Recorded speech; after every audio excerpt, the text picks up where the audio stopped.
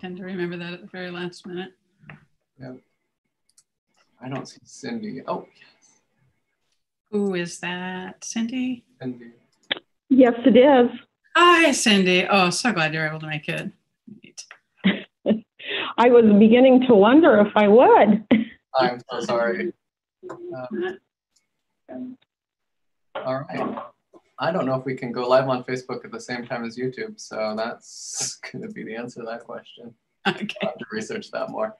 So I think we say hi to everyone here and get started. All right. Well, hi, everybody. Welcome to Dry Eye Happy Hour. I'm Rebecca at the Dry Eye Foundation, and in the office next door to me is Aiden Moore, also from the foundation. And we have four panelists today who I'll introduce in just a few minutes.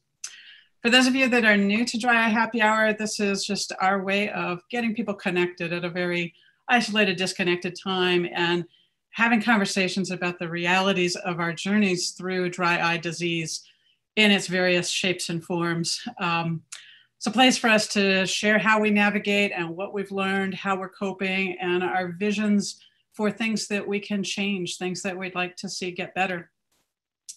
So today's topic is a real zinger, elective eye surgeries. So we're talking about things like LASIK and blepharoplasty. Um, many of you know this is where it all started for me with an elective laser surgery almost 20 years ago now those of us who have had dry eye, specifically from some kind of elective surgery, we have so much in common with everyone who's got dry eye, of course, but yet it's also its own unique experience. It has some features that we kind of only share with each other. So today, uh, we have a slightly larger than usual panel. Actually, we were hoping for a fifth. Um, We've got people who've had LASIK like me. We've got people who've had blepharoplasty or eyelid surgeries for cosmetic reasons, and people who've had eyelid or other surgeries for medically necessary reasons. So we get to explore this from all angles and see how our experiences compare and see what insights we can glean from pooling these experiences. So just really grateful to those of you who volunteered to be on the panel today. I'm really excited.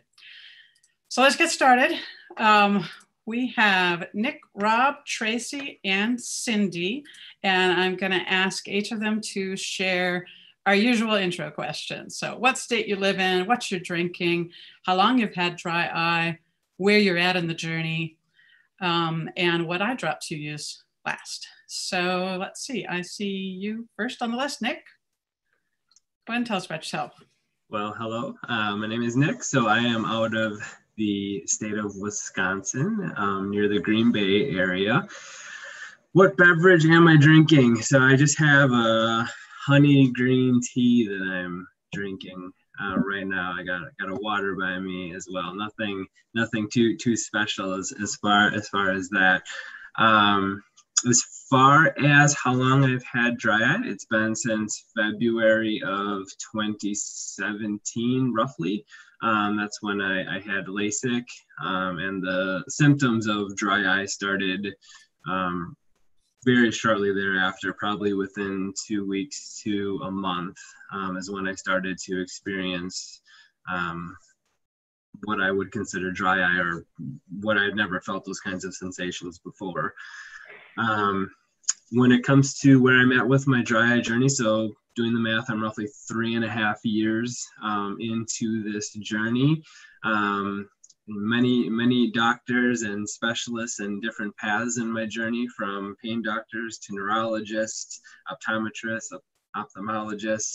Um, feel like I'm making incremental um, steps in the right direction. It's a bumpy road, as it is, I think, for a lot of people who go down this journey.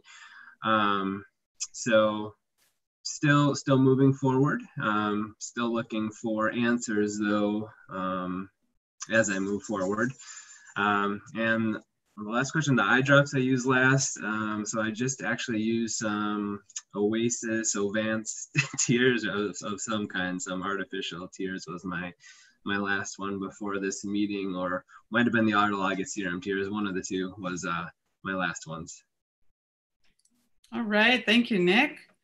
Rob, your turn. You should be an expert at this, truncating this story by now because you, Rob's been a, a I'm repeat. gonna go short. I'm gonna go short. Okay, so I am uh, I am coming to you from the ghost town of New York City.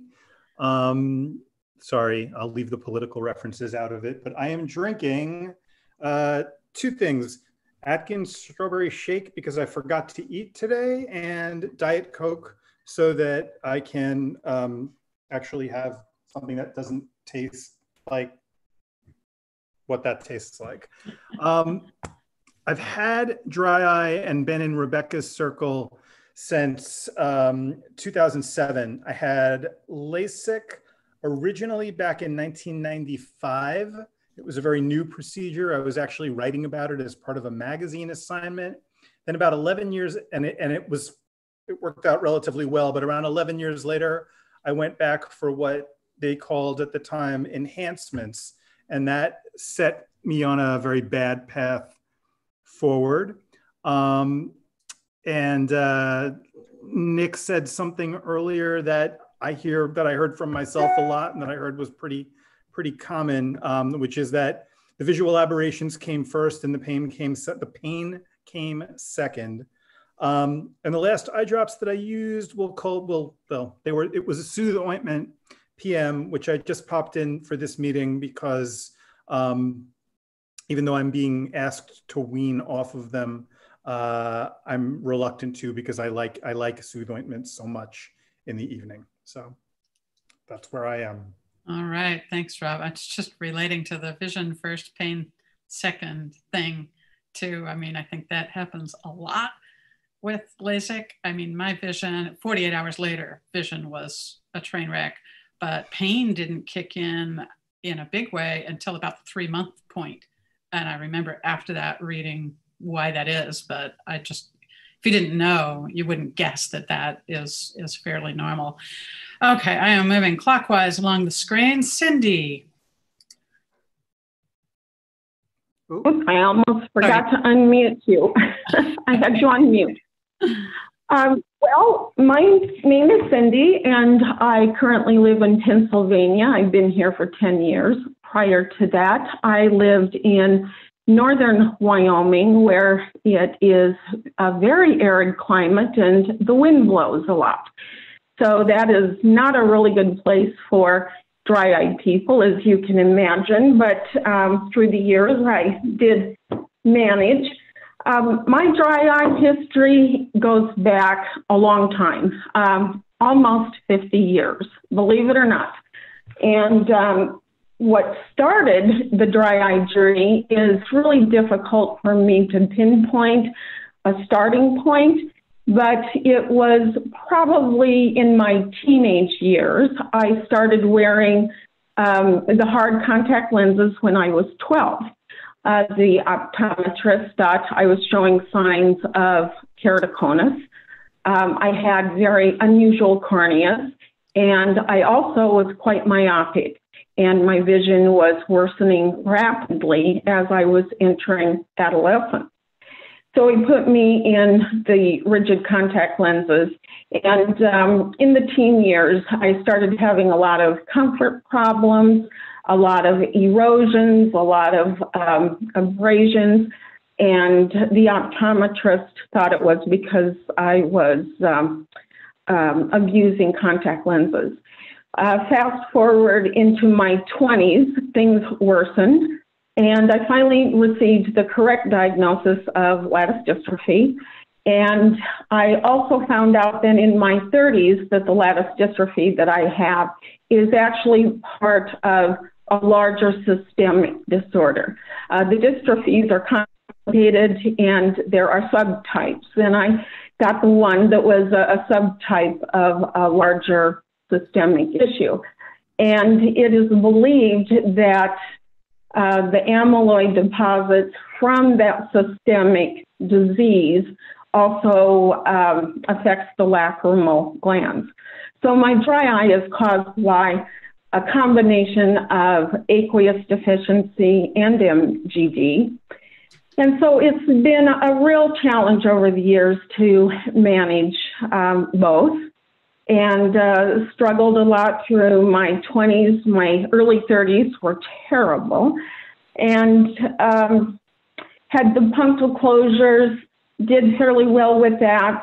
Uh, then I had surgeries in my 50s uh, for worsening lagophthalmos, which is a part of that systemic disease uh, that occurs as people age. And um, things just uh, got worse from there. And then we added more eye disease with glaucoma and uveitis and uh, corneal ulcers. And I finally got uh, scleral lenses about six years ago. And I'm managing the dryness fairly well with the scleral lenses. But uh, the glaucoma has really complicated my care a tremendous amount. And um, long story short, to wrap my story up, I have started the journey of um, oculoplastic surgery to correct uh, some of the uh, surgeries that were done years ago to deal with the early lagophthalmos. Um, so I just had my surgery uh, three weeks ago. And I will add, though, that through the years, I've had numerous other eye surgeries, the cataracts, lots of glaucoma surgeries, um, other surgeries, and whether any of those surgeries contributed to further dryness, we really don't know. Um, a lot of it is trial and error. And um, currently, my dry eye is being managed. I can't wear my scleral lenses right now because of the oculoplastic surgery. So I'm back in bandage contact lenses, which are a huge challenge. Uh, for those of you who've ever worn soft contact lenses, that's essentially what bandage contact lenses are. Um, as far as what am I drinking, I am drinking an herbal tea. It's Bengal spice, and I have a scoop of collagen powder in that to uh, help promote corneal health. Whether that really works or not, I'm not sure. Um, and that's kind of my story and, and the journey I've been on. And I think we could do probably a whole happy hour on the challenges of dry eye disease in the setting of other complex eye diseases. Yeah, absolutely. Thank you.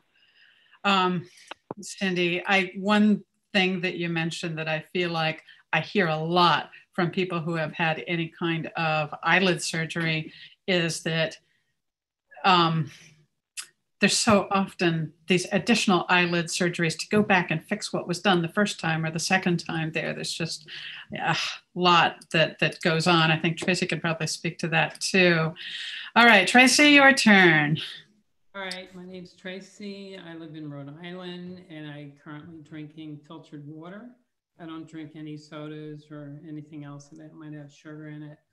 Um, my dry syndrome uh, journey began because I was highly, I was born highly myopic. Um, my vision was like 2400 and wore the thick, heavy glasses, you know, the black plastic frame. And I can remember how heavy they were on my nose and on my ears when I was little. And um, I started to wear, my mother had bought me the hard contact lenses when they came out, I think in 82 or 83 and I went to get fitted for those, and those were a disaster. My my eyes were so irritated all day long. I love the fact that I wasn't, I didn't need to wear glasses, but I suffered all day. So I had to get refitted again, and I finally got a pair of hard contact lenses that that worked for me, and that was that was pretty good. And then eventually they came out with soft contact lenses, which was much much better. Um, as I got older, I decided to have some cosmetic surgery done. And so I had the upper eyelid surgery done.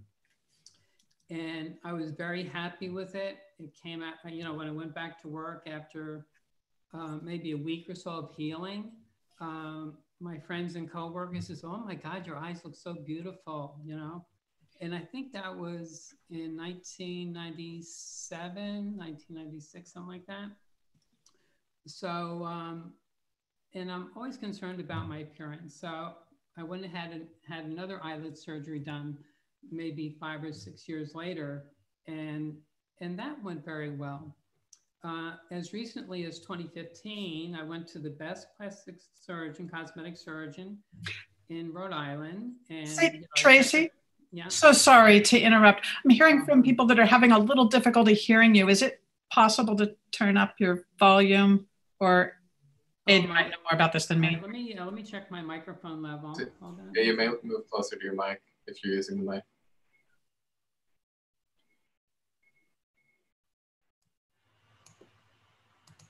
How about that? Is that better now? Oh, that's great. Thank you. Okay, I am so Sorry sorry. about that. All right, so um, anyway, I had two cosmetic eyelid surgery, just the uppers. And um, so that was, the first one was like 96, 97, and the other one might have been 2002, 2003, whatever. And then I had my third, well, before I had my third um, cosmetic eyelid surgery, uh, I had developed genetic cataracts when I turned 50 or right around 50 years old. And um, I was diagnosed in August of 2005, and my optometrist says, Oh, you have the beginning of a cataract, but it'll be 15 or 20 years before you'll need any surgery. Don't worry about it. That December, I could not see out of my right eye. I needed surgery. That's how quickly it matured from August to December. So that was my first cataract surgery, and that was uneventful. Took 15, 20 minutes. I was I believe I was awake during the surgery. Uh, then they give you an array of eye drops that you know you have to take for several weeks, and and before that, um, my my um, soft contact lenses were monovision. Uh, when I went from eyeglasses to contacts, and then I I needed my reading glasses, so I transferred my, uh, my soft contacts to um, bifocal contacts, and um, that that worked okay, but I wasn't really happy with it. So my optometrist said, "Oh, do you want to try monovision?" I says, "Well, what's that?" He says, "Well, one eye will adjust for moderate to long distance, and then the other eye we adjust for close." Hmm. And after about a week or so, you know, your brain will figure it all out, and you should be okay.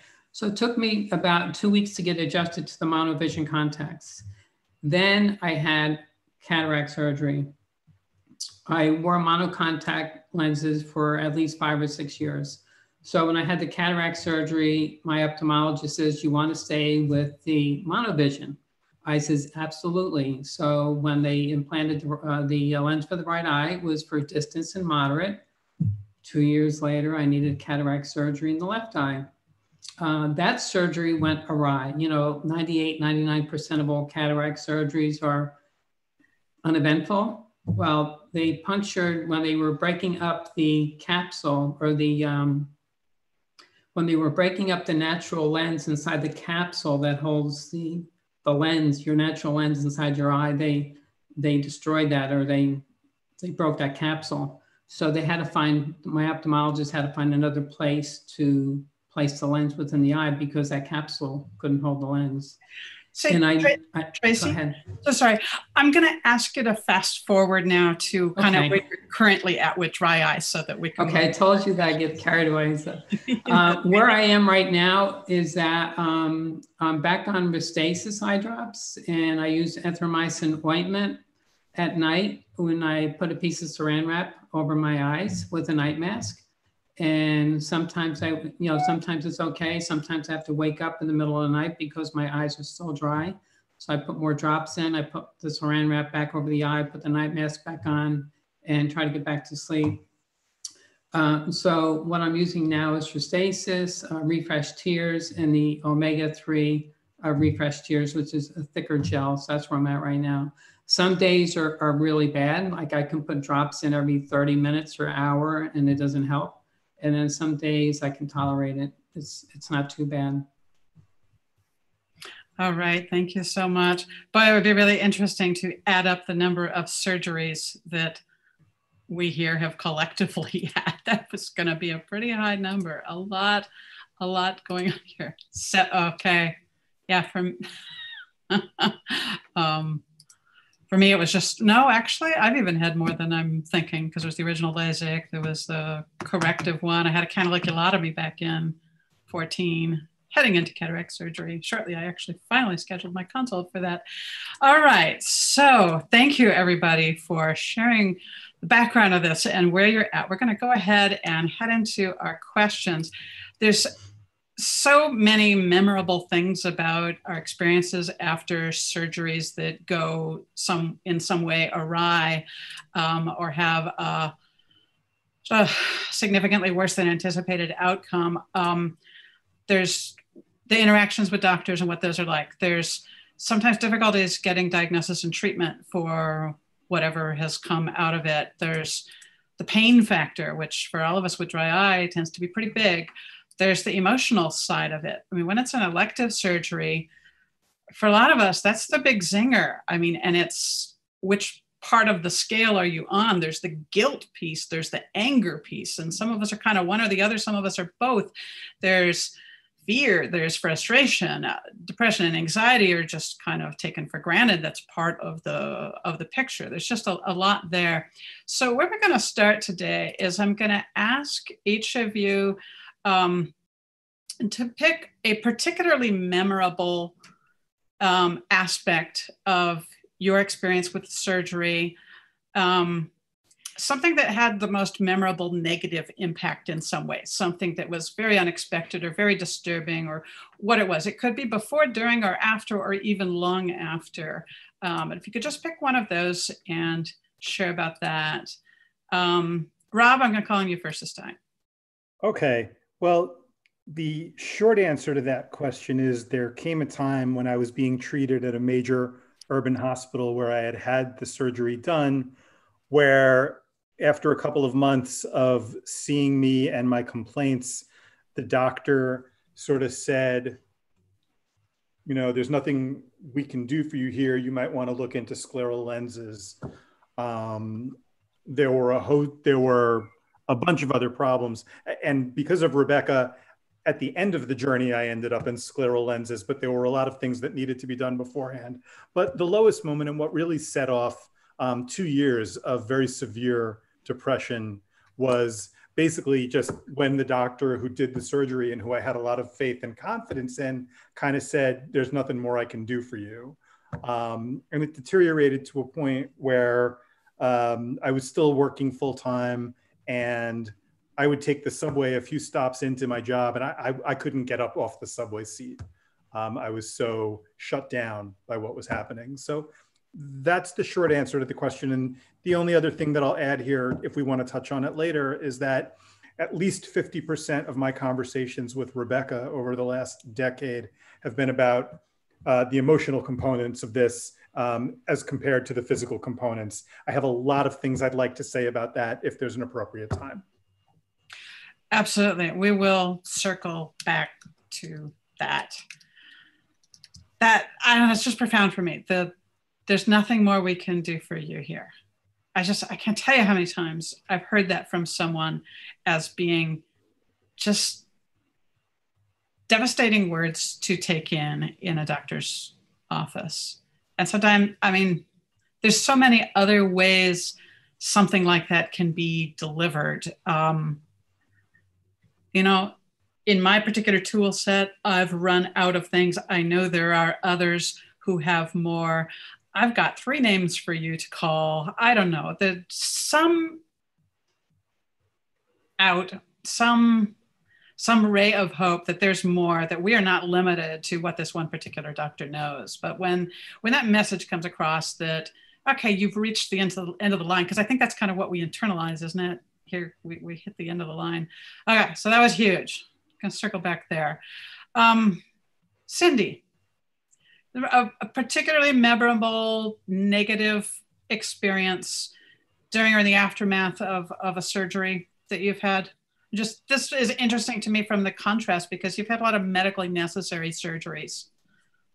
Well, I've had many medically necessary surgeries, but uh, there have been two really negative outcomes that I will never forget, and it's hard for me to decide which one to talk to or to, to talk about. Um, but I think I'll choose the negative outcome and the rather unexpected outcome that occurred following my uh, first cataract surgery that I had in 2005. I developed, excuse me, I developed early cataracts because of the years and years of uh, the steroids that I had to use for my corneal disease. So when I was still in my 40s, I had my first cat or my cataract surgeries, and we did the right eye first. And my corneal specialist and I talked at length about the risk of my, that cornea eroding um, because of the dry eyes and, and the corneal disease that I have. So he tried to do everything that he could preventively to avoid that from occurring. Well, after the surgery, of course, he put a, a bandage contact lens on it. And unbeknownst to me, that bandage lens fell off sometime either during the night or shortly after um, I left the doctor's uh, office when I had the uh, surgery. And I had to go back the next day, and I, I knew I was in trouble the, the second I got up that morning. And the, the cornea had eroded severely, and it was a major, um, serious erosion. And um, I, the, the bandage lenses would not stay in my eye, and we could not get that um, eye to heal. And we ended up having to do a temporary and a complete tarsorrhaphy where they actually sewed the eye closed. And I had to have that uh, sewn closed for about three weeks. And I started developing what looked like cellulitis in my face from the sutures. And so we had to remove the sutures. The erosion was still not fully healed. And it took the entire summer. I had the, the uh, cataract surgery done in May, and it took until August for that cornea to heal. So that was that was quite major.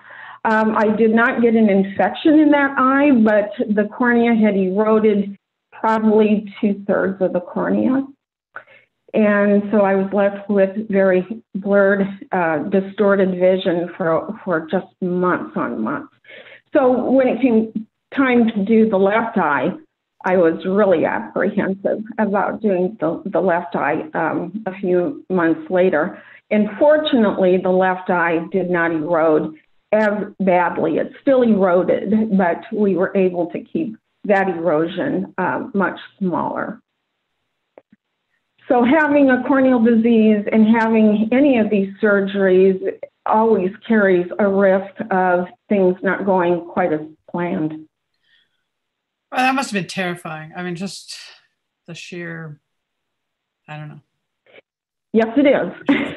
it definitely is. Um, when I had the erosion after the cataract surgery and it wouldn't heal, uh, we tried to get it to heal for a couple of weeks. And the day that I went in to see the corneal specialist, uh, when he told me that I was out of options and we were going to have to sew the the uh, li- uh, lids closed completely to get it to heal because he said the epithelial cells cells had started to roll under and he said once they completely roll under the cornea will not heal at all so i knew what that meant if that happened it would be transplant time so we um, we did the tarsorrhaphy, and and fortunately it did heal, but it took far longer than what the um, doctor had anticipated. Wow. Okay. Well, I'm glad it did eventually heal, but that that was quite that was that was an ordeal. Wow. Nick, switching back to the LASIK world, talk to us about a memorable um, aspect of your experience.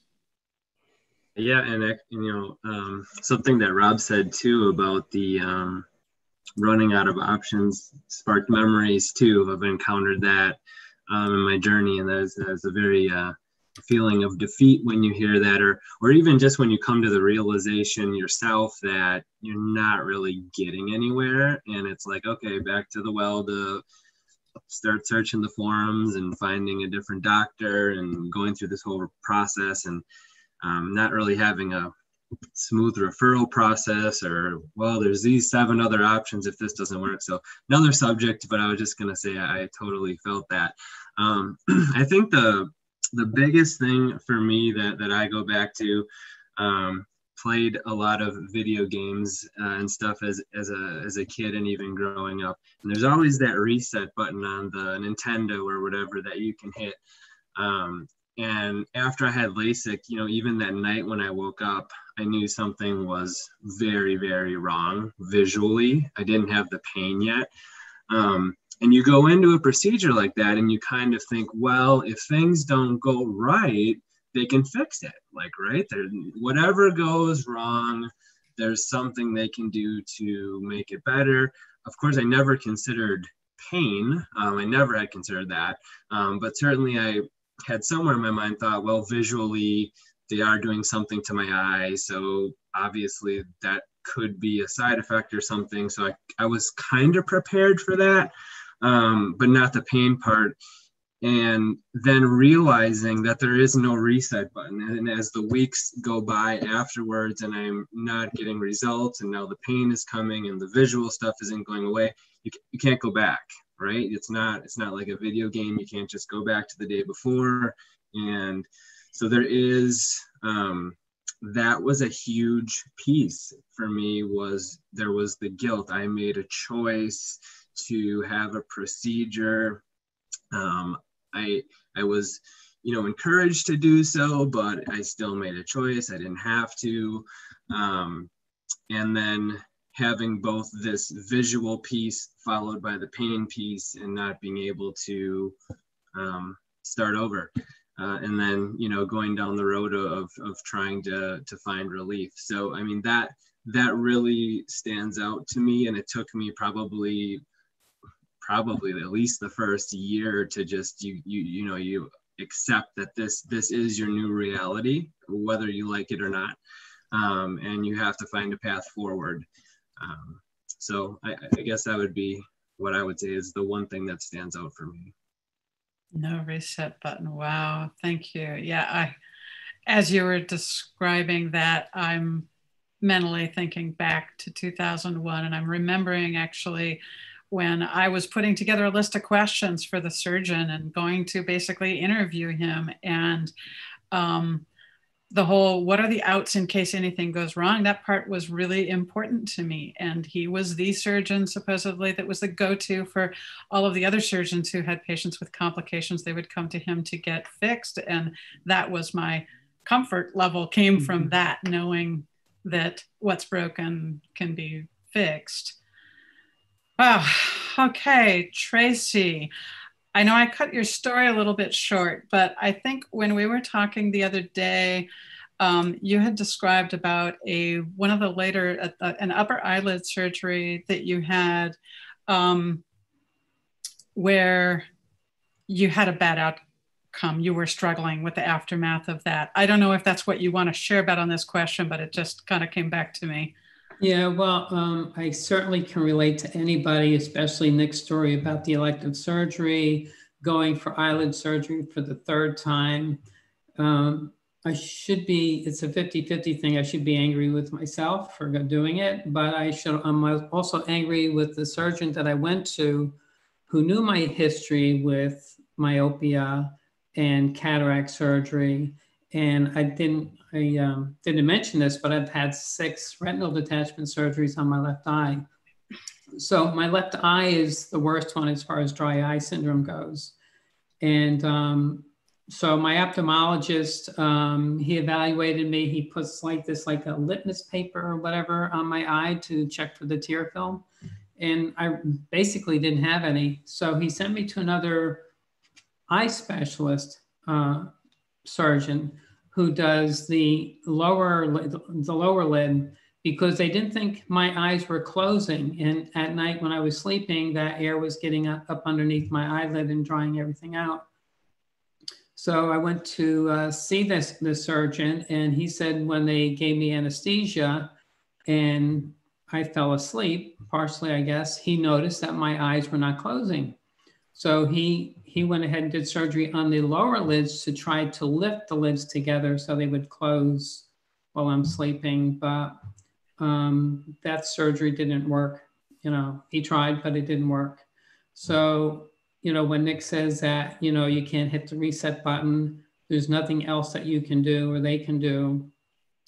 So I'm just hoping that there's a new technique, new surgery, new drops, transplant, you know, or whatever that I can get. So I don't have to deal with this. This is only one layer. I have a multitude of medical issues, but the dry eye syndrome is one layer.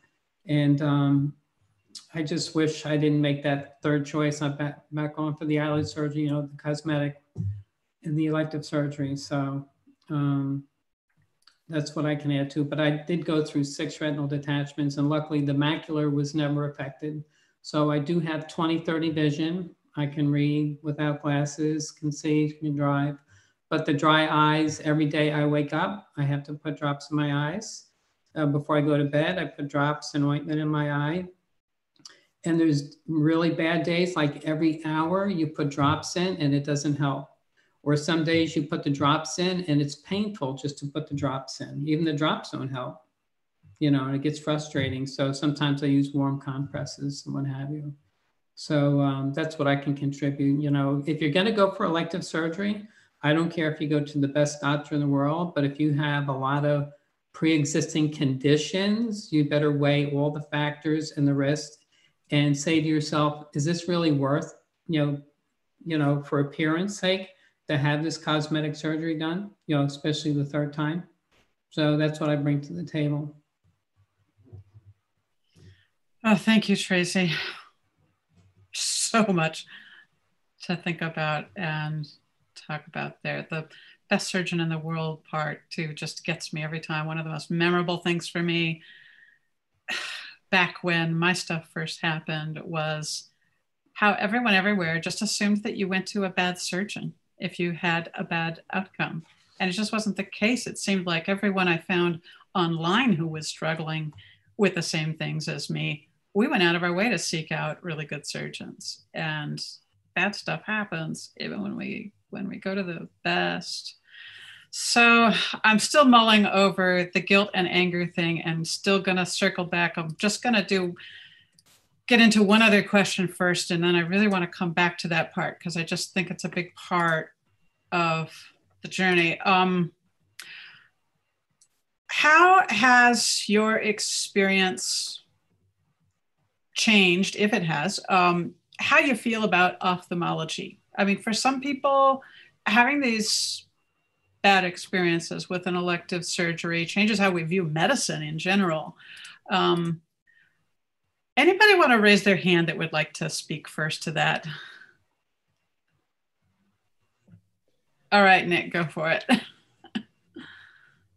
um, you know, I, I'm kind of, I guess, unique in the fact that uh, maybe not unique with this group. I, I shouldn't, don't know, but I've had, um, I had health conditions since I was a child, so I wasn't, um, unfamiliar with the healthcare system and, and some of the nuances and, and negative pieces of it where maybe struggling to get appointments or dealing with insurance or all of those elements that aren't great.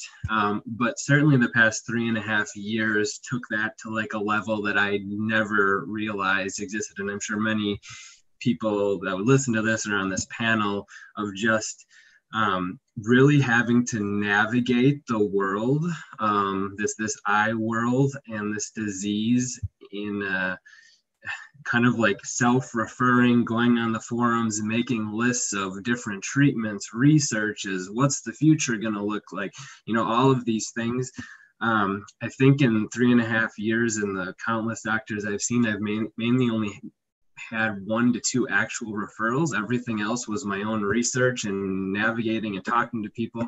Um, Rebecca and I just talked, you know, had a conversation about this. Um, so there's a, you know, a real, I think, need for, for there to be more connection within ophthalmology, more referrals, more if this isn't working, there's this doctor that's doing these kinds of things.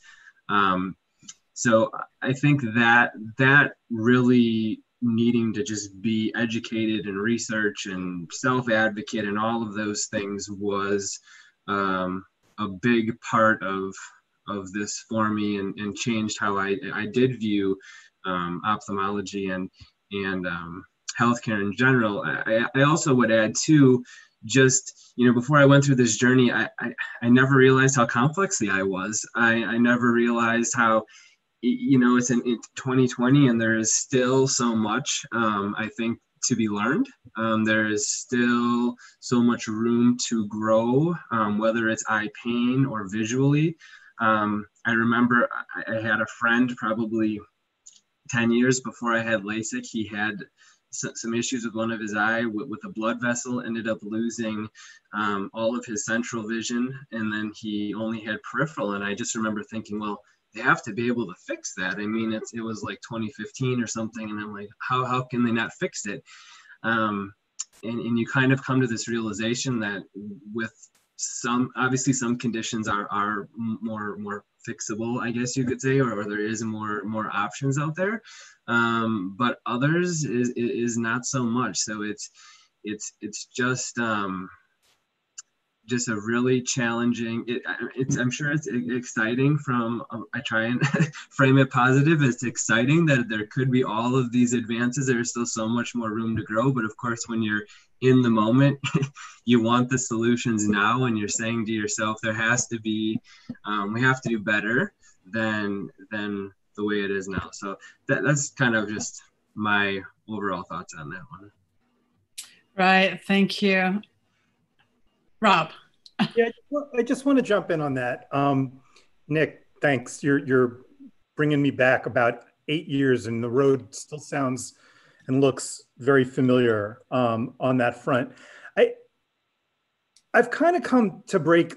Okay, so you get out of that appointment where you realize the doctor, you know, the doctor's kind of saying, "I've done what I can do," and with with the hindsight of looking back 13 years on it now I've, bro- I've always broken it down into three areas. Um, and there may be a Buddhist element to this, one of my friends once said, but don't quote me on that. There's kind of, okay, do what you can. You talked about um, the research and the reporting, and do what you can. What's within your control is such an incredibly important part of this. And it comes with an adjoining risk of doing too much um, we have so much information available to us online, and Dr. Internet is a terrible doctor. Uh, Dr. Internet did not get a medical degree, um, probably from some little place in the Caribbean that you would not want to go to, but um, I apologize for that. It takes money and time, which are resources that not everybody has in abundance, to run down all of the suggestions and referrals that you get in the initial stage of an ophthalmic disease, whether you're talking about mm-hmm. your halos, your starbursts, and your aberrations, or your pain. And I have to tell you, I've spent 13 years going back and forth on the source of the pain that resulted from LASIK. Um, Rebecca and I both knew a wonderful man, the guy who founded the Boston Foundation for Sight, um, named Perry Rosenthal, and he really did a lot of the early research into neurop- corneal neuropathy. Um, and then there's this whole other issue of MGD. And I was fortunate to have a doctor for 10 years who was really, really into it. The man was in his, the man is in his 70s, but talking to him, he has the enthusiasm of a teenager discovering cars for the first time. So there is, I, and I, I spent five years trying to get an answer to the question is the pain that I'm experiencing coming from my eye or is it coming from my eyelids? Because I couldn't tell. People would, great doctors I would call and go to visit would say, well, lift your eyelids off your eye. You know, does it, does it hurt? Does your eye still hurt? If not, then your problem's in your eyelids and things like that. And, and I eventually came to the conclusion that there were issues coming from both places. Do what you can can take a very long time um, and a lot of money. And it's, it's a very hard thing running down the different things that people do to deal with these things. First, the visual issues, because the visual issues hit you first. They terrify you. The starbursts, not being able to drive at night. What can I do about that? And maybe you land on scleral lenses, or maybe you land on um, a more sophisticated PRK procedure because somebody tells you they can smooth out the bumps on, on the surface of your cornea. Um, after do what you can, there's kind of the accept what you can't part. That's really the second part that Rebecca and I, that I've talked to about quite a bit with Rebecca. And that's kind of where this becomes an emotional issue. And I'm going to wrap it up, Rebecca, but I just, I just want to say that um, I think that a lot of doctors, a lot of traditional doctors, probably older, um, tend to want to avoid discussions of therapy or antidepressants. Um, it's it's not their field. They didn't go into ophthalmology to learn about antidepressants or therapy. Um, I think those can be important components of healing from this. Um,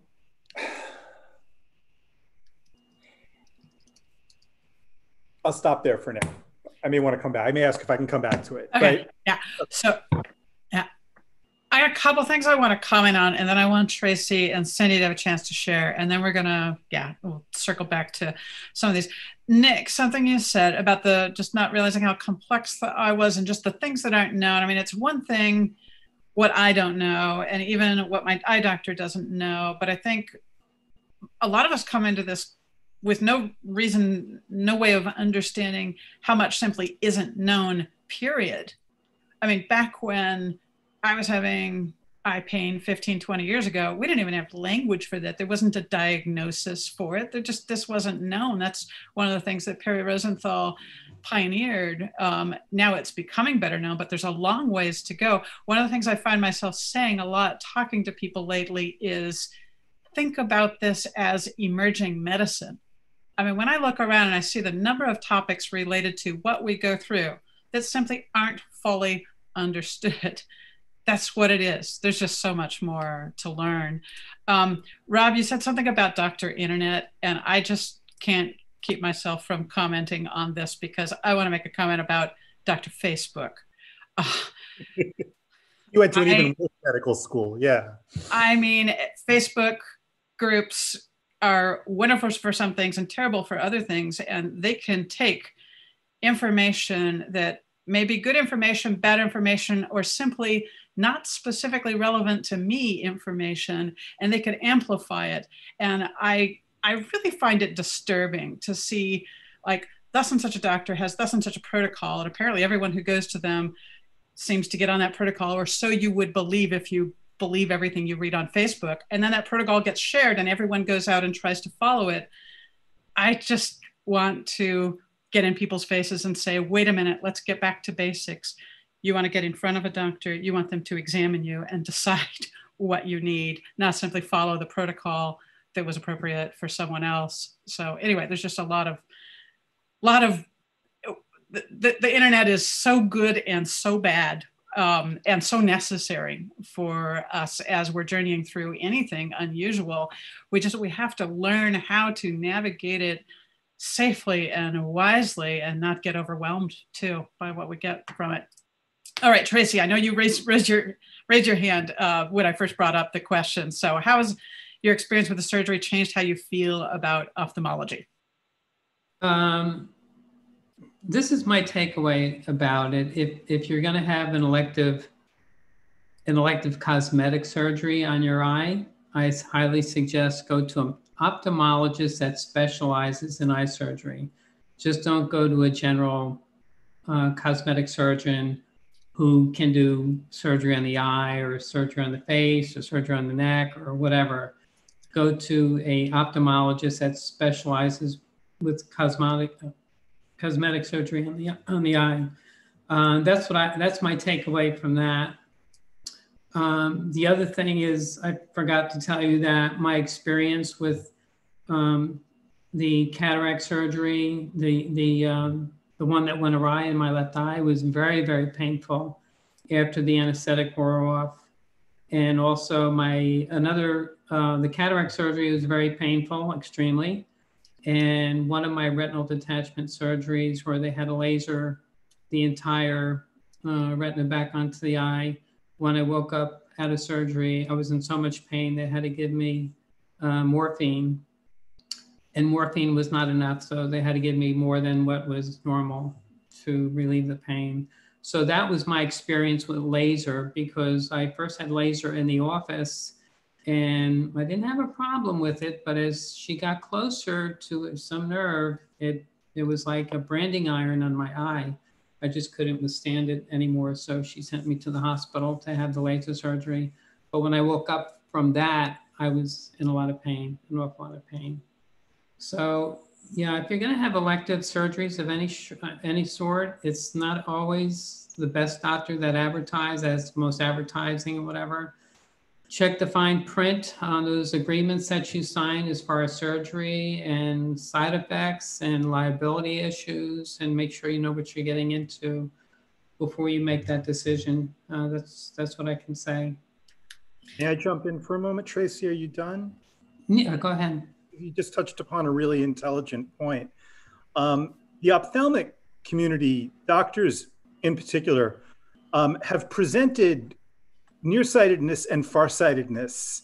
Oh, you're minus three. Oh, you're plus four as a medical disease. It's no more a medical disease to be nearsighted or farsighted than it is to have brown hair or blonde hair. It's a feature of your person. It's just a feature, right? I agree with that. Doctor's office, who I still walk into, some of the best people I know who treat dry eye also advertise LASIK and PRK in their in their rooms, and I have to bite my tongue from chewing them out because I'm there asking for their help. And it's really not a mm-hmm. great way to start a relationship with a doctor by saying, hey, stuff in your waiting room is BS and it's going to cause a lot of people. But we are really, really conditioned over the last 20 years to believe that visual deficits are a medical problem. They're not a medical problem. There may be a minor inconvenience. There may be an inconvenience. I mean, I went through everything I went through because I found it difficult to wear these, and I wanted, I thought it would help my career if I didn't have to wear glasses, and it was annoying, and I just wanted mm. everything simple. Um, it, just the idea that being nearsighted or farsighted is a disease is perpetuated is when some somebody earlier talk, talked about 50 Tracy, it was you talking about 50% blame and 50% what you're responsible for. And I think mm-hmm. that, that that's such a key thing to notice because at the end of the day, yeah, Nick, like you said, we do make our own choices and we are ultimately responsible for our choices, but there is a lot of nudging in the direction of some of our choices. I'm going to stop. Mm-hmm. Yeah, we could do a whole entire session on advertising and um, oh, informed consent and all these things too. There's just there's a lot there. It's a it's a bottomless pit of issues for sure. But that wasn't mm-hmm. to get into. Um, Cindy, do you have something to share about this? How just any shifts in how you view view ophthalmology or ophthalmologists as a result of any of your experiences? Well, so much of mine, of course, has been uh, medically necessary, but I would like to add back in the mid 90s when LASIK was first approved by the FDA, I actually considered it given my corneal disease and that I already had dry eye disease. And I actually did go to see a, an ophthalmologist who did that surgery and I laid everything out on the table to her of what my issues were. And I asked her, is it safe for someone like me, given all of my eye diseases that I have, uh, to do the LASIK? And I remember so clearly her saying, yes, theoretically, it is safe for you to have it done. And I just looked at her and said, well, theoretically just isn't good enough, I don't think. And then I pushed her a little bit further on it to find out did she actually have any patients that she had done LASIK surgery on that had the same kind of corneal disease that I had. And she said no. So I left the office that day knowing that there's just no way that I could have that. But interesting that I would even consider doing something like that, right? But I I wanted to get rid of the glasses. I couldn't wear the contact lenses anymore. And I missed that. You know, cosmetically we want to look nice. But uh, that was, I always had felt that that was a, a bullet that I dodged. Yeah, you owe yourself a round of applause for that. That takes incredible self awareness. I wish I'd had you with me. I you asked the right question. How many people would know to ask that question, though? Have you done this successfully on somebody like me with this particular Right. feature or that? I mean, how many of us would have known the right question to ask? But that's the one that revealed the flaw. I mean, you can find any number of studies in all the medical journals. LASIK is safe and effective, blah, blah, blah, blah, blah. But not necessarily for me. That's, that's exactly right. And, and the other thing that I would also like to add, um, the same as what Tracy has said, if, if for anyone considering any eyelid surgery, even if it's being done for a medical reason, to see an oculoplastic surgeon for the surgery. And don't just go to one for a consultation. I went to three before I decided who I felt would be the best for me. Uh, the second oculoplastic surgeon that I went to had recommended a very, uh, what I felt was just too too extreme, um, and and I just knew that there was no way I could do that. So uh, I, I would get at least three different consultations before deciding. And yes, uh, back to what Rob said, it takes time, it takes money, uh, it takes travel. But it's, in the end, it's worth it to do that research. I have spent a fortune over the years, as I know others have too. I love that you brought up the question of multiple opinions before these. That so helpful, and yet with LASIK, I sometimes see people get tripped up in that process too because um, how to compare the opinions that they get. If my rule of thumb, when somebody's come who's considering LASIK and has been uh, been to a couple of doctors because people do come and ask, and I mean it's hard sometimes answering them. Um, is you know if if there was one surgeon they went to who said, "No, I wouldn't do this on someone on you because of thus and such," and then they found three others immensely qualified who said that they would, and so they conclude that this is safe for them because the other doctors that they went to said that they would. I mean, what I tend to tell them is, hang on, have you listened to that thing that the, the one doctor said about why they wouldn't? Um, it's hard to Right. saying it's hard to interpret that information because are you getting um, better information or are you getting more aggressive a more aggressive stance someone who's willing to take more risks with your Right. And it can it, it can get very confusing once you start getting multiple opinions and trying to sort it out as to which one of them is right. Yeah. I the one that's going to be most conservative to keep your eyes safe in my book. That's always going to be the one to follow if possible. I mean, when you're talking about elective surgery in particular, because Yeah. that's a whole And- different ballgame. And that's what I did with this most this most recent sur- oculoplastic surgery. I went with the most conservative plan.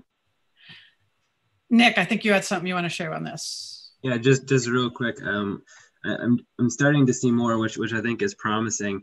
Um, you know, it's not always just you know visually or or or, what what what they're seeing in your eye, whether you may or may not be a good candidate. You know, they're learning more and more about systemic issues such as autoimmune conditions that could be pre-factors, you know, or, or you know factors for why you you shouldn't pursue an elective surgery. So um, I did have autoimmune conditions going into mine, and there's autoimmune conditions across a wide variety of spectrum. Um, so, you know, we don't really, there is no conclusive, you know, this autoimmune means this, that, or the other. But um, I think that's a relevant question and, and topic. It's not always just the eye, it's what else do you have going on within your body um, other sorts of issues, maybe even something like a depression or anxiety or different kinds of things.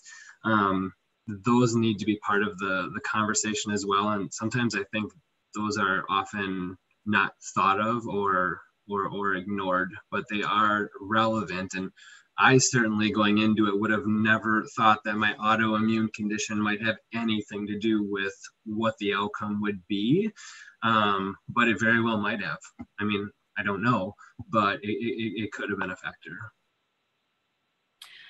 I'm thinking back to kind of in the early 2000s, the people I got to know who had LASIK done in the 90s, who had Sjogren's or RA or these other major things, where in the following years, it became well enough known that those put you at high risk that most doctors backed away from doing that, not necessarily even because of dry eye as such, um, but because it would compromise the visual outcome, which has always been the driver for LASIK.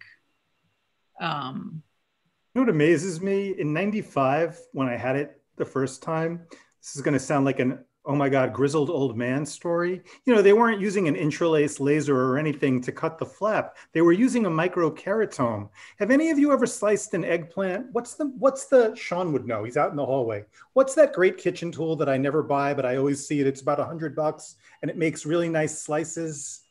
Help me, someone. Mandolin. Thank you. Mandolin, okay? A microkeratome is essentially a medical mandolin. So rather than cut the cornea with a laser, they're using a microkeratome to, to measure the depth.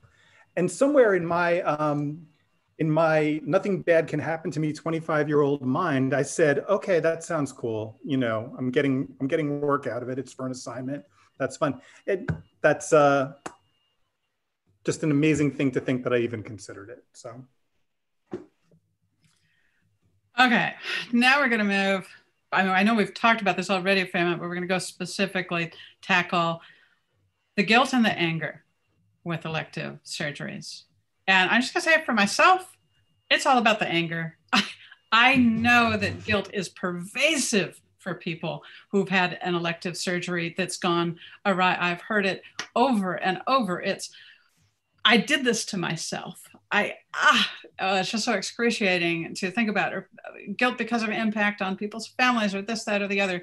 For me, I don't know. Somehow my brain just never, man, my emotions just never managed to go there. It's just maybe anger is just a more natural outlet for me generally, or what. But I anger was my major aftermath of LASIK, and so many things can continue to trigger that. That is the reason that I ended up starting the dry eye zone because I wanted to get out of that world festering in anger and um, go to a kind of wider pool of us that have dry eye from from other reasons too.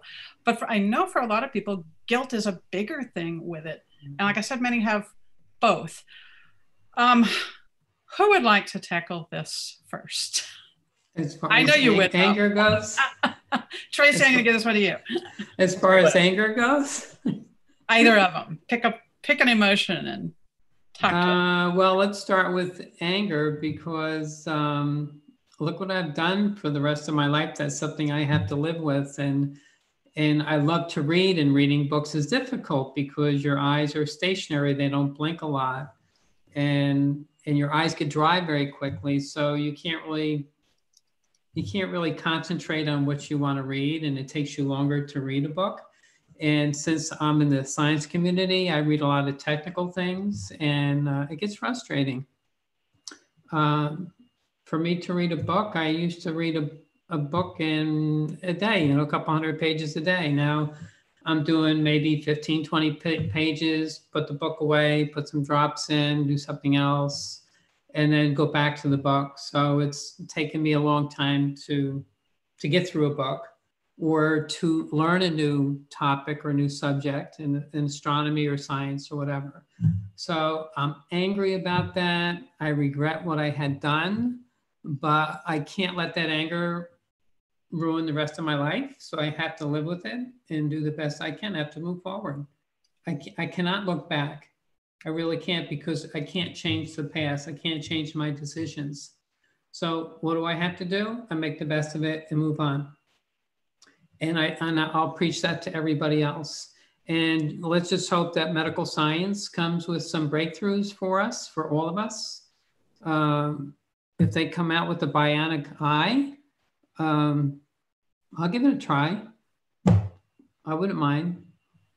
But uh, that's what we have to do. We have to we have to go through the frustration. We have to go through the anger, the anxiety, get it out of our system, and move forward. Because there's nothing else you can do about it, and you can't you know just sit here and just muddle in it all the time. So you got to move on with your life. Life is short. You have to make the best of every day. Awesome. Thanks, Tracy. All right, Rob, go for it. Hi, me. I'm going to do this in 30 seconds or less. Okay. Look, there are no therapists who specialize in people with eye problems from elective surgeries or non elective surgeries, but there are plenty of therapists and social workers, psychologists, psychiatrists, psychopharmacologists who specialize in treating people who are disabled or who have medical problems. And a lot of those same issues will translate over to the things that you experience or that a patient with these blame issues will experience. So it's safe to seek out therapy in more general terms. Okay. And if I have 10 seconds left on that 30 seconds, um, it also comes down to two other things. You have therapy and you have medical therapies like antidepressants. And responsible, good doctors are going to tell you that some of the antidepressants on the market can contribute to, to, to dry eye or to eye problems. And they ain't kidding. Um, they're not, they're not, they're not toying with you. And the best conversation that I ever had on this front, right around the time that I was finding myself unable to get off a subway, was a doctor, a, a, younger female doctor in the practice of my older male doctor, who is the greatest doctor I've ever had in my life, um, but who just didn't want to talk to me about antidepressants, called me and we had a long conversation. And she said, You know, right now, for where you are, I think you sometimes need to choose the lesser of two evils. And maybe you want to try the antidepressants and see if that exacerbates the condition you have. Because right now, I think you've got larger problems than the depression being caused by your eyes. Um, I took her advice. It was good advice. Okay, 40 seconds, 45 seconds. That's awesome. Not trying to, to cut you down here. This is the the topic. The the lesser of two evils thing. Yeah, I to me it comes down to there there comes a point when my head hurts more than my eyes. And it's okay to prioritize that because it'll help me deal with my eyes as well to get my head in a better place. I can navigate the medical world better. I can navigate every aspect of life better if I'm getting some help for what's going on in my head. These things matter. Like Northeast thing, you know. I feel like in New York and Boston, people are a lot more comfortable, and and the coasts probably just talking about therapists and antidepressants. And I don't, Nick, is there anything that have you discussed this with anybody? Do you mind if I ask? I don't, I don't mean to pry, but does it come up in, in your circles or your conversations? The like the like counseling or the use of antidepressants? Either counseling. Does anybody even suggest it? Is it part of the the um, the general discussion around these issues in Wisconsin or wherever? Yeah, you know, I I think you are probably spot on that on the coast or the bigger cities. It, it might seem to be a more um, you know acceptable or you know seeking mental health in, in general.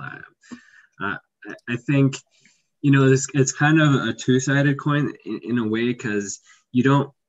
I've also kind of run into where the, the pain is um, well it's, it's in your head so just go talk to someone as, as, as if the pain and the experience isn't real you know? So there's that fine balance right? Because i actually i do have a, a master's in counseling so i'm fully embrace uh, counseling but i also understand that there can be physical things that you're going through with medications or other sorts of treatments and there's the worlds have to work together um, and the the last pain doctor that I'm currently working with, they actually do a good job of trying to integrate counseling with medical therapy, um, which I hope to see more of where we can complement each other um, in that world versus you've run out of options here. You're still in a 10 out of 10 pain every day. So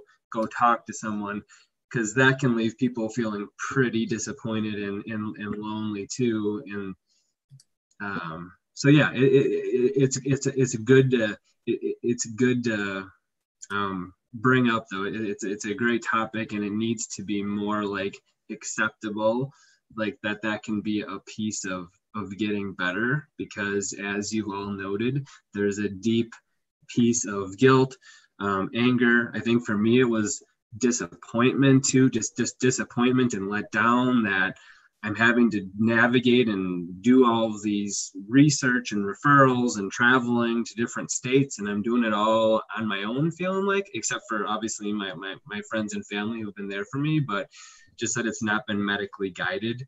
Um, that's been my uh, you know biggest thing it's just disappointment like who's in my corner referring me and and, and make and wanting me to get better um it's it's been hard to find at times within the um you know the medical community. So hope i answered your question rob. I know i kind of went off a little bit in a hey, you gave a great answer you gave a great answer to my question and you taught me a couple of things. So thank you.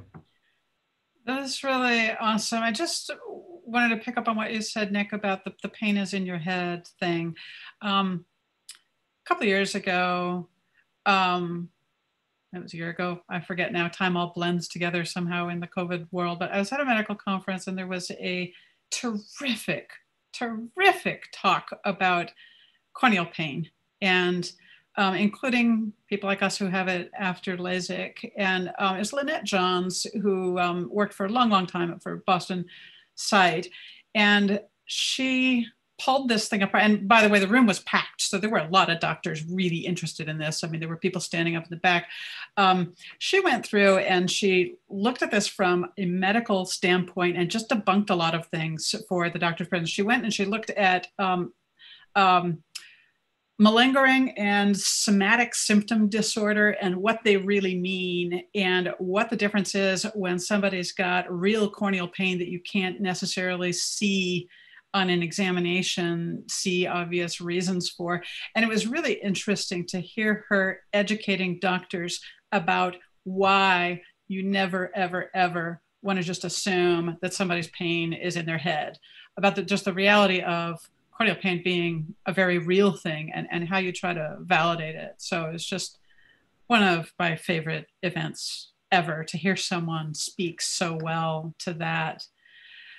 Okay. Um, I guess one other thing I was thinking of when one of you were talking was that the need to reach out to more health professionals and you know so that can be on the mental health side and um, it can be our PCP, it can be anyone in our life medically too. I think there's such a danger with dry eye of getting hypnotized by all these eye doctor visits into seeing ourselves as a pair of disembodied eyeballs. And we know this thing has a broader impact on our lives. And it's, I think it's to our benefit to talk with any doctor we visit about this and get their perspectives. We don't really want our eye doctors being the ones prescribing or prohibiting us from choosing an antidepressant medication or, or anything else. We want to get to the appropriate professionals for it. Okay, I'm looking at the time now, and what we're going to go to to start wrapping up. This has just been such a full discussion, by the way. Just so grateful to all of you.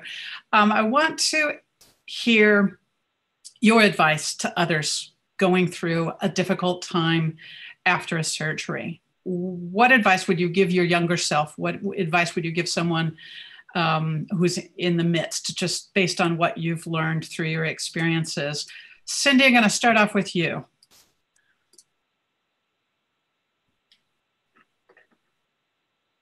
Cindy, can you? So, what would I tell? What would I tell my younger self? To get through the the difficult times. I get well for me. I'm my situation is is way different than a lot of yours because when I'm having a lot of um, pain, it's visible because that's usually when I have either a major erosion or um, ulcerations. or they can measure my eye pressures and see that they're 50. So it, it, it's visible and it, it's um, objective data that they can see. And how to get through those times, I guess, is just one day at a time. It's one minute at a time. And there have been many, many times that I could do nothing but uh, try to look at the ceiling um, and just wait it out and know that I'm doing what I can do. And I think that to get through a lot of the tough times, I've had to do a lot of visualization um, and that and the positive affirmations that I can get through this. I'm going to be okay. I'm doing everything that I can do. Um, last year, 20 months ago, when I had a really serious ulcer, I had to visualize the antibiotics working on the bacteria and on the on I had to take amphotericin B because I also had a fungal infection in my eye. And I had to visualize the medicine just killing off all of the microorganisms. And had I done some of that way back in the beginning, I might have coped a little bit better. And I also want to add to, with all the mental health issues that um, you all were discussing earlier, and I also mentioned this to Rebecca in, in the past. I cannot recall one time when one of my um, ophthalmology specialists have asked me how I'm coping. How am I doing? Uh, do I need to talk to someone? No one ever asks that. And I think that is such a huge component, even for those of us that it's so visible that we've got a, a, a big problem. Um, and I think part of what has happened with me over the years, I can go in and more times than not, I can be stoic. But the minute I get into my car, I will crumble. That, ever since we had that conversation where you mentioned this, Cindy, about I can't recall a time when one of my ophthalmologists asked me how I am, asked me how I'm coping. Um, I've just been noodling over that ever since. And that's kind of what I had in mind when I talked about how we come to see ourselves and be seen as disembodied eyeballs. Where we need validation that this is something that impacts our whole person and our whole lives. Yeah. Wow. So yeah, they're, they're they're they're really missing that piece because they you know you go in and you you see a, a packed waiting room and they're just they're having to to get you through and and deal with the medical issues that you have that you're dealing with at that time and I I think a lot of it is a time issue for them. Right. Um, so uh, just picking up the, the, the advice that you had, the taking time in small increments, a day at a time, a minute at a time, and the visualizations. I think those are that's super helpful. Tracy, what's your best advice to someone going through some of the things you've been through? Well, I, like I say, I had multiple issues. I got chronic sciatic pain, um, um, bilateral plantar fasciitis on top of the dry eye syndrome and TMJ. So, um, you don't want to isolate yourself and just sit in the house between four walls and just say, "Oh my, what am I going to do?" Uh, reach out to somebody. My ophthalmologist never asked me. Well, he says, "How's your eyes doing?" I says, "They're they're dry," but he never asked me about any support groups or help or anything because I guess he assumed I was doing okay. But my PCP did suggest that I see somebody, you know, see a counselor for um, basically my chronic pain. And then I was able to uh, bring up my dry eye syndrome and my other medical issues. So it's always good to reach out, uh, maybe to a friend or a family member at first. And if that's not helpful, a support group like the one we joined or the Dry Eye Foundation. And um, because you can't do it alone, you can't go it alone. You need support. Um, you need that crutch and you can't stand on your own two feet by yourself. It's, it's, it's very difficult, if not impossible. So I suggest to reach out to people, friends, family, a professional counselor, join a support group like we have, and, and share our experiences to help us through. That's excellent. Thank you. Nick.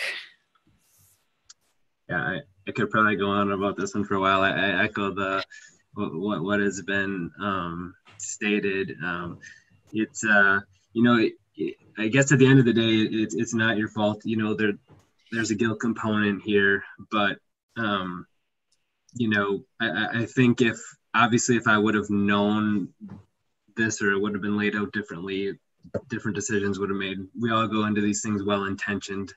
Um, so you know that, that that's the first piece it's not your fault. Um, you know give yourself a pat on the back for each day that you move forward that you know you you, you know you can keep, continue to live your life and you kind of take the the small moments and the small successes and you celebrate them because one of the things i've learned with dry eye is I haven't found anything that's just been a magic, uh, magic wand and everything is great. It could just be small little pieces, incremental pieces that build towards um, getting your life back slowly um, and steadily. Um, I, I, would add, just on a, a note from for myself and my journey over the past three and a half years, you do have to, or I have had to learn to be my own self advocate, um, get educated.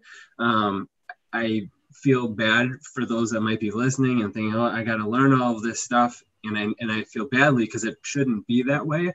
Um, but for me, it has been. I've had to learn about treatments, options, doctors, medications, because sometimes I might be the one going to the doctor proposing a solution that I have discovered um, and and trying it out. Um, but with that being said, because we've talked about the, the, the forums and education, and, I and I do want to say that um, the forums are great and, and, I, and I encourage you might have to become a part of those to learn and understand.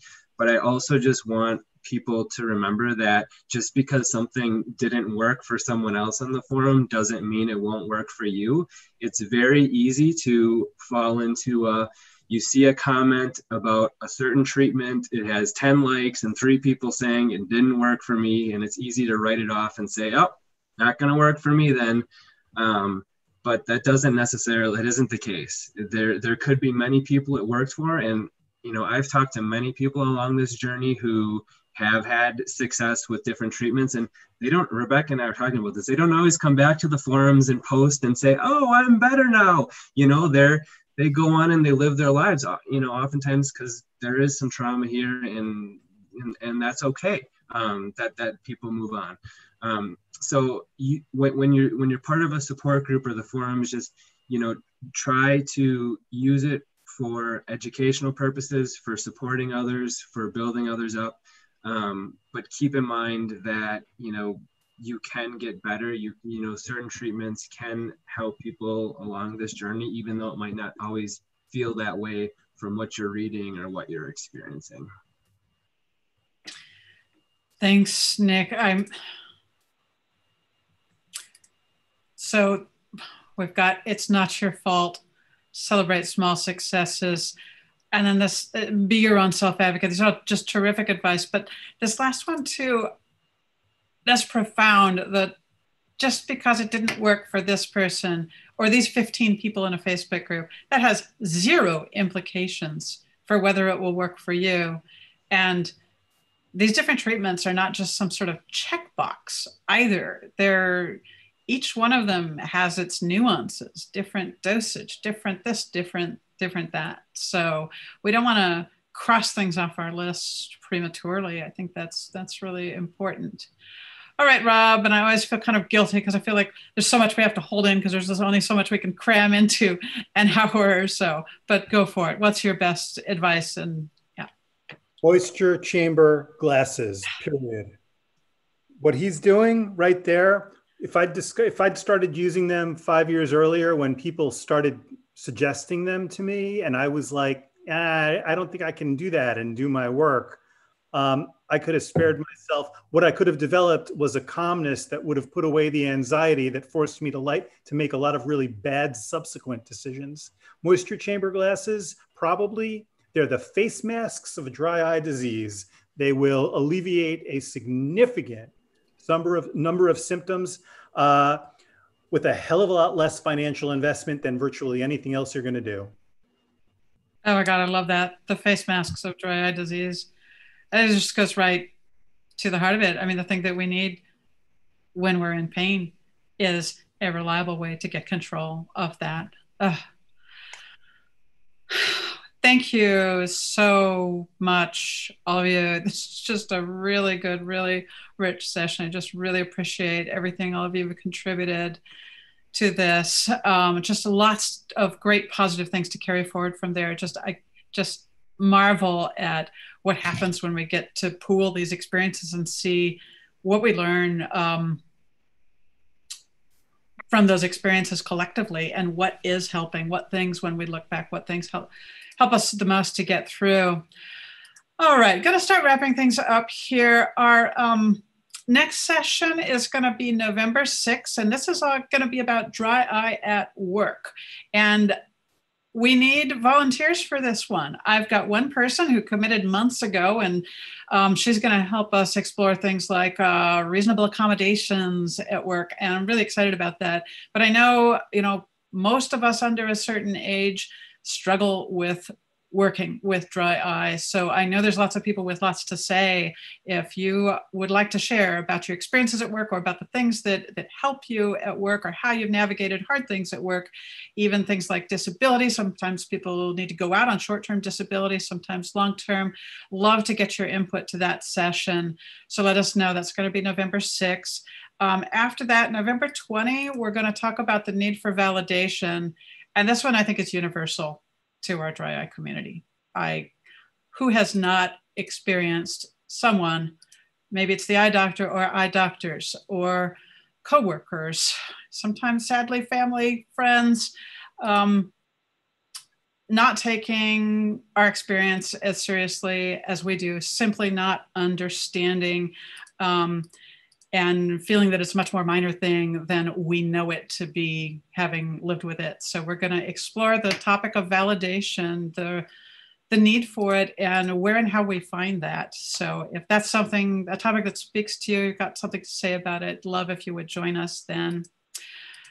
Um, let's see, Aiden, can you share some other ways people can connect also um, in addition to dry happy hour? Yeah, you touched on happy hour. Nick has been talking about the forums and Facebook groups.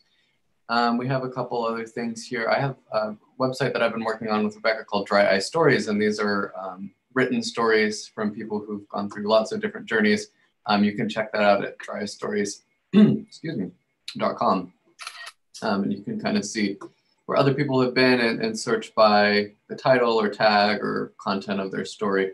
Um, those are sometimes good for sharing with other people who just don't have the, the same experience or, or understanding of, of what you're going through. Uh, we have a dry eye survey at mydryeyedata.org, I believe, or .com. Can't quite remember. Um, but yeah, it's uh, a long-ish survey about um, diagnosis, treatments, all sorts of things that can kind of help give context, um, helps us um, with research possibilities, but also can hopefully help you get some context. And um, then lastly, there's just us at the Dry Foundation. We have email, we have phone support. Um, you can browse our website, dryeyefoundation.org, um, but always just push people to email or give us a call if you want to talk because Rebecca's really generous with her time um, and, and can go over some of these things. So I think that was everything on my list. Thanks. I do want to echo the you know call if Nick talked about the importance of reaching out and not isolating. If uh, not everyone can do or wants to do social media, reaching out is hard. If you don't know where to reach out to, you know, we're here, I'm here, just call. Love to talk with you. Um, last, the thing that our board is pushing me to do if you are finding these helpful and you're looking for a way to give back, you can always donate on the foundation site. It's dryeyefoundation.org. There's a donate button there. Other ways to give back, just volunteering to be on a panel. We love having people join. You can also send us ideas and um, requests for topics for us to cover.